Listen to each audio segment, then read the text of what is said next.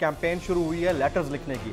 Start आपसे हुई आपने खत लिखा। मैंने अपना फ़र्ज़ जो है वो पूरा किया और अपने शोहर के इंसाफ के लिए मैं इसी तरह हर जो है वो लीगल फोरम पे जो है वो दस्तक देती रहूँगी। पोस्टमार्टम रिपोर्ट लेने के लिए इनको हाई कोर्ट में जाना पड़ा। ऐसा ही कैंपेन शुरू हुई है लेटर्स लिखने की। स्टार्ट आपसे हुई आपने खत लिखा सुप्रीम कोर्ट ऑफ़ पाकिस्तान को। क्या तो रखती हैं और लेटर पहुँचा भी है या नहीं पहुँचा?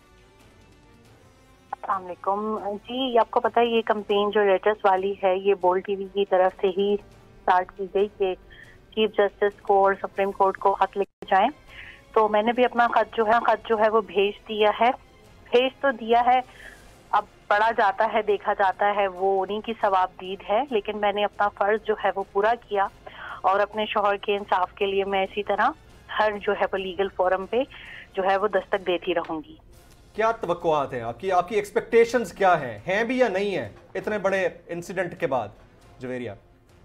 यहाँ पे एक ट्वीट होता है, लोग गिरफ़्तार हो जाते हैं, लेकिन यहाँ पे किसी को गोली मार के जो है, वो कत्ल कर दिया जाए, या किसी के ऊपर उसके घर में घुस जाया जाए, चादर, चार दीवारी का तकदस पामाल किया जाए, या किसी को तकरीर करते हुए टांगों में गोलियाँ मार दी जाए, पता नहीं वो हमारे इदारों को क्यों नहीं नज़र आता? तो ये सब चीज़ें तो चालीस दिन पहले ही हो जानी चाहिए थी। लेकिन उम्मीद तो दुनिया कायम है और मेरी उम्मीद इस वक्त सिर्फ़ इन्हीं की तरफ़ है। तो मेरी गुजारिश होगी कि इन तमाम जो हमने लेटर्स लिखे हैं खानदान की तरफ़ से इस पर जो है वो एक्शन लिया जाए। हम्म। और अरशद शरीफ के शहीद के कत्ल के हवाले से जो है वो कमीशन जुडिशल कमीशन जो है वो बनाया जाए और हमें इंसाफ दिया जाए। जवेरिया आप अगर कोई जुडिशल कमीशन इस तरह का फॉर्म होता भी है और पाकिस्तान में बनने वाले जुडिशल कमीशन की जो एक हिस्ट्री है वो तो हम सब के सामने है। तो आपको उसकी फाइंडिंग्स पे अतमाद होगा या आप चाहेंगे कि यूनाइटेड नेशंस की किसी हद तक इन्वॉल्वमेंट हो इंटेरोगेशन के या इन्वेस्टिगेशन के अंदर? जी, ये तो मेरा एक लोकल मुतालबा है ना कि हमारी सबसे आला अदालत जो है, वो इस बेहमाना कत्ल की तहकीकात करे। लेकिन मेरा आलमी दुनिया से यही मुतालबा है कि यूनाइटेड नेशन या यूनाइटेड नेशन प्रोसीजर्स जो है वो इसके हवाले से जो है, वो कमीशन कायम करे और तहकीकात करे और महरिकात का जायजा ले कि किन मसाइल की वजह से जो है वर्षद को मुल्क छोड़ना पड़ा, उन पर सोलह एफ़ आई आर किसने कराई और वो कौन लोग थे जिन्होंने कीनिया में उनको असैसनेट किया।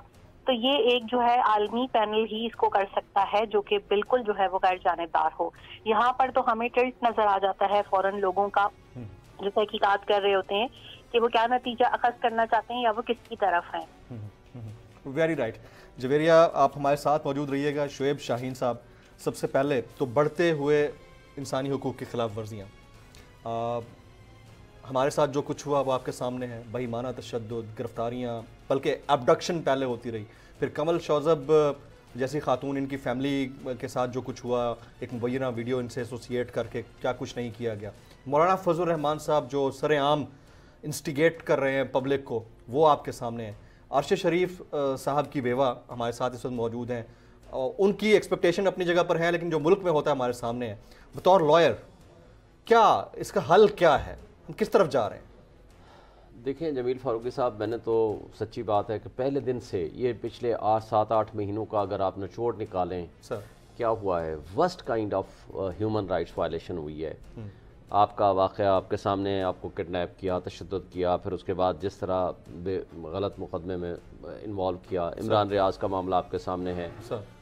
अरशद शरीफ शहीद के साथ सोलह आखिर एफ़ आई आरें किसने कटवाई? वही उसके मुलजिम है ना जिन्होंने पहले एफ़ आई आर कटवाई और उसको मुल्क से छोड़ने पे मजबूर किया।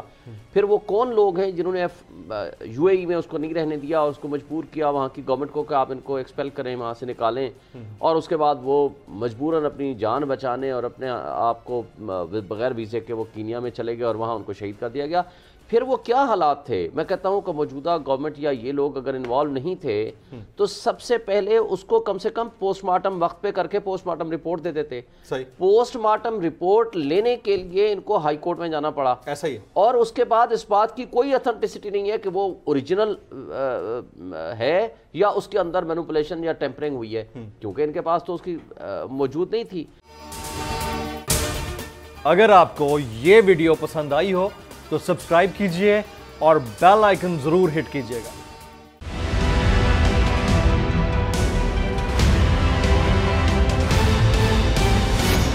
देखिए भाई, क्यों चल रहा है ये तो मेरे ख्याल है सब जानते हैं। ठीक है ना? ये केस को आप यूँ समझ लें कि जाली केस जो है इस तरीके से कि ये इन्होंने हम पे चीटिंग का, फ्रॉड का, चार सौ का एक मुकदमा बनाया।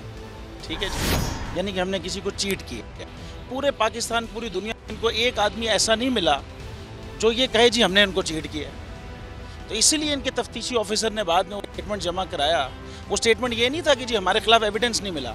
वो स्टेटमेंट ये कि जी, कोई क्राइम ही नहीं हुआ। सोचें आप जुल्म। और ये इस किस्म का जाली केस था। और दूसरा जो फ्रॉड का मुकदमा होता है ना, चार सौ बीसी का, इसमें शख्सी ज़मानत पे जो है ना, ज़मानत हो जाती है। कोई भी जाके अपना आईडी कार्ड पे ज़मानत करा लेता है। उस पर आपने 18 महीने, डेढ़ साल जो है हमारे एक मतलब हमारी ज़मानत नहीं हुई। और हम कौन? हम वो जो उस वक्त 432 मिलियन डॉलर की टोटल आईटी एक्सपोर्ट थी पाकिस्तान की। उसमें से 355 मिलियन डॉलर हम कर रहे थे भाई। 82 परसेंट की आईटी इंडस्ट्री हम थे। ये पचासों दफ़ा हमने कहा फिर कोई क्वेश्चन कर लेना। जब आप पाकिस्तान मुल्क में पैसा लाने वालों के साथ ये करेंगे, फिर वही होगा जो इस वक्त मुल्क की इकोनॉमी का हाल है। और शख्सी जमानत वाले इस केस के अंदर डेढ़ साल यार। और खाली ये नहीं है, मेरे पे मुकदमा करना था, आप करते। आपने मेरी कंपनी बंद कर दी, आपने गाड़ियाँ सीज अकाउंट बंद, आपने हर चीज़, मेरी माँ की एफ़ आई आर काट दी, बीवी की एफ़ आई आर काट ये होता है यार जाली केस की भी कोई एक अजीब अजीब व गरीब की फॉर्म है मतलब। आप समझें ग्यारह जजेस ने भाई नोट बिफोर मी किया है हमारे केस में। तभी वो डेढ़ साल तक चलता रहा जमानत का मुकदमा। एक दफ़ा तो ये हुआ कि भरी अदालत में हमें बाइज्जत भरी कर दिया। और दो घंटे के बाद फैसला आया जी नॉट बिफोर मी लेकिन इसमें कोई ऐसी मसले वाली बात नहीं है। जो लोग भी हक पे खड़े रहते हैं ना, डरते नहीं हैं, बिकते नहीं हैं, झुकते नहीं हैं, उनके खिलाफ ये केसेस होते हैं भाई।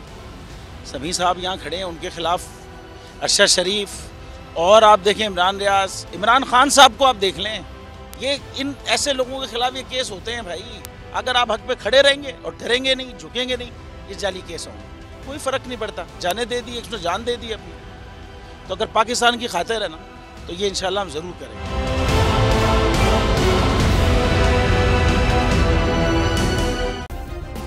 सब्सक्राइब करें और बेल दबाएँ ताकि कोई खबर रह न जाए।